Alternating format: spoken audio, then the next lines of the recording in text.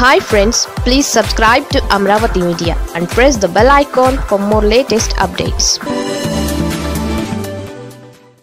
BJP అధ్యక్షుడిగా Satyakumar sponsored by Raghurama TDP. తొందరలోనే రాష్ట్ర బీజేపీ అధ్యక్షుడిగా సత్యకుమార్ యాదవ్ బాధ్యతలు తీసుకునే అవకాశాలున్నట్లు సమాచారం. ప్రొద్దుటూరుకు చెందిన సత్యకుమార్ ప్రస్తుతం జాతీయ కార్యదర్శిగా పనిచేస్తున్నారు. పార్టీలో ప్రత్యేకించి ఆయనకంటూ ఎలాంటి పట్టు లేదు. పార్టీలోనే సత్యకుమార్కు పట్టు లేదంటే ఇక మామూలు జనాల్లో ఏముంటుంది? అయినా సత్యకుమార్కు పగ్గాలు అప్పగించాలని జాతీయ నాయకత్వం ఆలోచిస్తుండడమే అందరినీ ఆశ్చర్యంలో పడేస్తోంది. సత్యకుమార్కు వినే క్వాలిఫికేషన్ ఏంటంటే జగన్మోహన్ రెడ్డి అంటే నిలువెత్తు వ్యతిరేకతే. ఇప్పుడు అధ్యక్షుడిగా ఉన్న వీర్రాజు జగన్ పైన ఒంటికాలపై లావడం లేదు. అలాగనే మద్దతుగా కూడా మాట్లాడడం లేదు. ప్రభుత్వానికి వ్యతిరేకంగా చాలా సందర్భాలలో తీవ్రంగా విరుచుకుపడిన సందర్భాలున్నాయి. విధానపరమైన వ్యతిరేకతే కానీ వ్యక్తిగత వ్యతిరేకత ఏమీ లేదని అర్థమవుతోంది. కానీ సత్యకుమార్ అలా కాదు. జగన్ అంటే నిలువెత్తు వ్యతిరేకతతో ఊగిపోతూ ఉంటారు.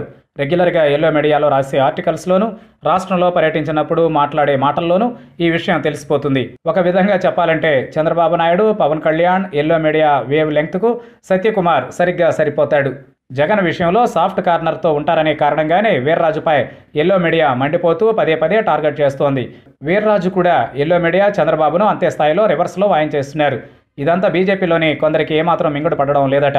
అందుకనే అందరూ కూర్చుని వీర్రాజును తప్పించి సత్యకుమార్కు పగ్గాలు అప్పగించేలా అగ్రనేతలపై బాగా ఒత్తిడి తెస్తున్నట్లు పార్టీలోనే టాక్ నడుస్తోంది. తెలంగాణలో బీజేపీకి బండి సంజయ్ ఎలా ఊపు తెచ్చారో ఏపీలో అలాంటి ఊపు సత్యకుమార్ వల్లే వస్తుందని పదే పదే అగ్రనేతలతో చెబుతున్నారట. వైసీపీ రెబల్ ఎంపీ రఘురామకృష్ణరాజు బీజేపీలోని చంద్రబాబు మద్దతుదారులందరూ కలిసి సత్యకుమార్ను స్పాన్సర్ చేస్తున్నట్లు ప్రచారం జరుగుతోంది. అయితే ఎవరిని నియమించినా రాష్ట్ర బీజేపీకి ఎలాంటి ఉపయోగం ఉండదు. ఎందుకంటే బీజేపీని దెబ్బకొట్టిందే నరేంద్ర మోడీ ప్రభుత్వం. మోడీ ప్రభుత్వం రాష్ట్ర విభజన హామీలు ప్రయోజనాలను తుంగలో తొక్కేసిన కారణంగా జనాలంతా మండిపోతున్నారు. ఒకవైపు చేయాల్సిన డ్యామేజ్ చేస్తూ మరోవైపు అధ్యక్షుడిని మార్చినంత మాత్రాన పార్టీకి ఏమిటి ఉపయోగమో అర్థం కావడం లేదు.